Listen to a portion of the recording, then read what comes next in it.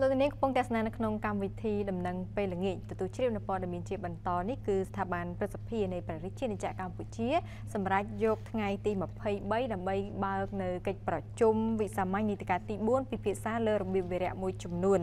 ចាប្រសិទ្ធិនឹងបើកនៅកិច្ចប្រជុំវិសាមញ្ញនីតិកាលទី4ដើម្បីពិនិត្យសេចក្តីព្រៀងច្បាប់ស្តីពីការបង្កើតក្រសួងឧស្សាហកម្មវិទ្យាសាស្ត្របច្ចេកវិទ្យានិងនវានុវត្តន៍និងរបៀបវិរៈជាច្រើនទៀតនៅថ្ងៃទី23ខែមីនាឆ្នាំ2020ខាងមុខនេះក្រោមអធិបតីភាពសម្ដេចវិបុលសេនាភក្តីសាយឈុំប្រធានប្រសិទ្ធិនៃព្រះរាជាណាចក្រកម្ពុជាយោងតាមសេចក្តីជូនដំណឹងរបស់អគ្គលេខាធិការប្រសិទ្ធិ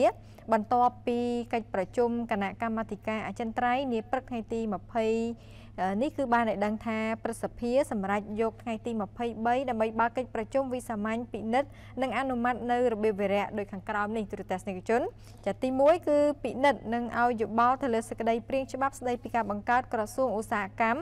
វិទ្យាសាស្ត្របច្ចេកវិទ្យា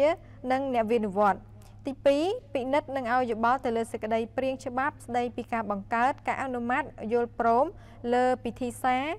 ទី2ស្ដីពីវិសោធនកម្មកិច្ចព្រមព្រៀងវិនិយោគទូលំទូលាយអាស៊ាន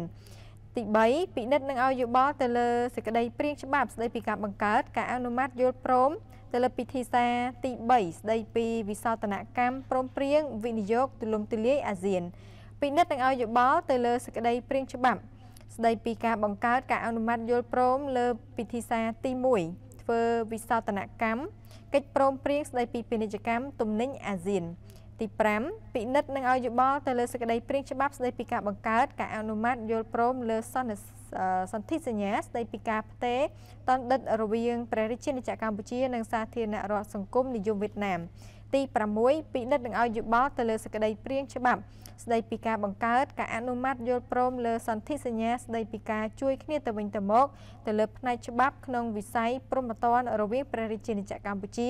និងសាធារណរដ្ឋសង្គមនិយមវៀតណាមចានេះ